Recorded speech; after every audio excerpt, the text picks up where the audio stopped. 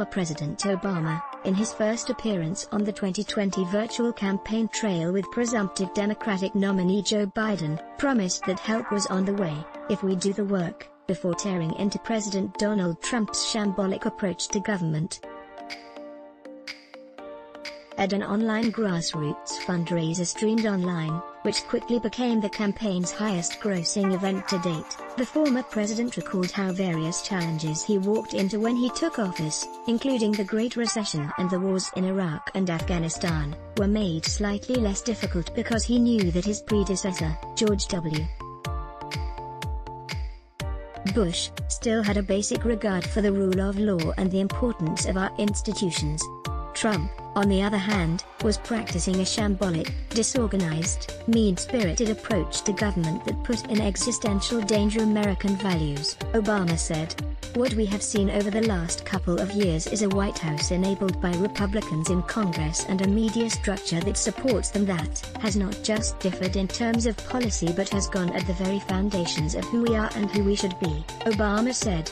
That suggests facts don't matter, science doesn't matter, that suggests a deadly disease is fake news, he added, making a veiled reference to Trump's comments in February that the coronavirus pandemic was a hoax that actively promotes division and that considers some American in this country more real than others, Obama continued. That, we haven't seen out of the White House in a very long time. Let our news meet your inbox, the news and stories that matters, delivered weekday mornings.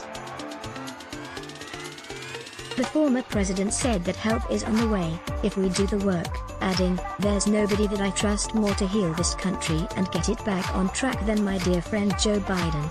But, Obama warned, Democratic voters must not take the race for granted just because Biden is currently leading Trump in the polls.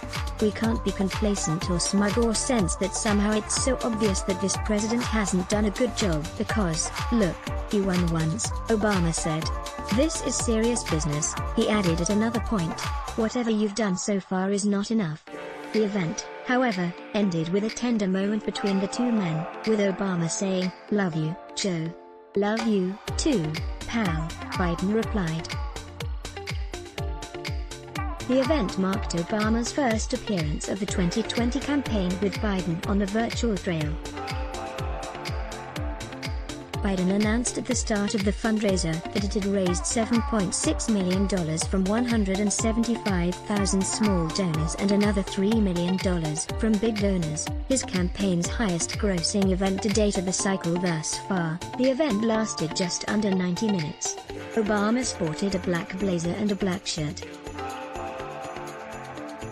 the Trump campaign seized on the amount of cash raised shared by Biden, releasing a statement during the event that noted that it had raised $10 million over the weekend of Trump's sparsely attended Saturday night rally in Tulsa, Oklahoma, a total far more than the Biden-Obama event. Trump himself also addressed Obama's joining Biden on the trail, telling reporters at a campaign event in Arizona that to point out the former president's campaigning efforts for Hillary Clinton in 2016 did not result in a win for the Democratic ticket.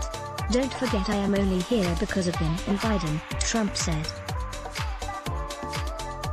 I'm only here because of them, because if they did a good job we wouldn't have been here, there would have been no reason. Tuesday's fundraiser comes just days after news emerged that the Biden campaign out-fundraised the Trump campaign in May.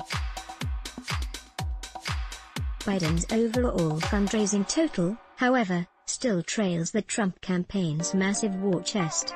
The Trump campaign said earlier this week it had $265 million in cash on hand. Obama formally endorsed Biden in April after Biden's only remaining rival in the race for the Democratic nomination, Sen. Bernie Sanders, I Vermont, bowed out of the race. Adam Edelman Adam Edelman is a political reporter for NBC News. Let's block ads. Why? Show your love for him. Click the link in description. Thanks for watching.